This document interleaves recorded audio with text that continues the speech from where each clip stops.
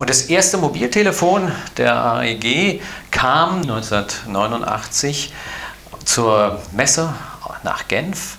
Dieses Gerät hat eingeschlagen wie eine Bombe auf der, auf der Messe, weil es schon alles hatte, was die modernen Telefone haben.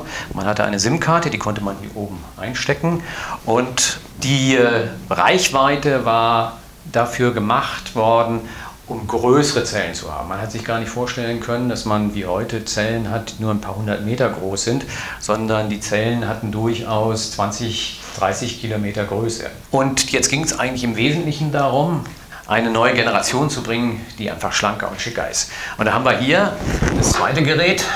Das ist das AT901. Das ist die Folgegeneration. Das sieht schon viel schlanker aus und hat auch einen Griff sehr schön eingearbeitet, ist viel leichter als das andere und hat auch schon erheblich weniger Komponenten. Das war auch ein Autotelefon und hatte genauso wie dieses eine Sendeleistung von 8 Watt. Man konnte also in den großen Zellen ganz hervorragend funken und empfangen. Dieses Gerät kam 1993 in den Markt. Ein Jahr später schon gab es das erste Handheld, das erste richtige Handy. Also kann man schon sehen, es lässt sich gut in der Hand halten. Es ist auch relativ leicht. 250 bis 300 Gramm hat es gewogen. Und äh, die Batterie hat 450 Milliampere-Stunden. So zum Vergleich, die heutigen Smartphones, da reden wir über 3.000 oder 4.000 Milliampere-Stunden. Das ist ein Zehntel der Kapazität von dem, was man heute hat. Das Gerät konnte immerhin schon zwölf Stunden Standby-Zeit haben. Also man konnte einen Arbeitstag konnte man erreichbar sein. Und auch dieses Gerät hatte einen Signalverarbeitungsprozessor und war von der Technik her angelehnt an sein Vorgängermodell. Die Nachfolgegeneration nach dem HT901 ist das HT911 schon kompakter noch als das Vorgängermodell. Und äh, das Besondere hierbei war, man konnte noch die Antenne rausziehen, um einen besseren Empfang zu kriegen.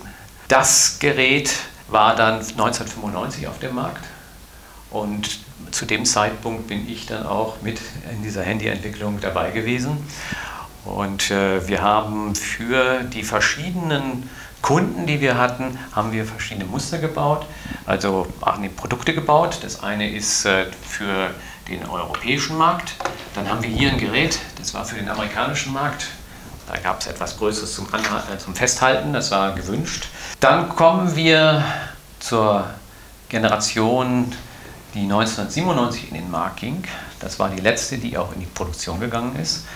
Und das war das äh, Teleport 9082 oder wie es hausintern hieß, das HT920.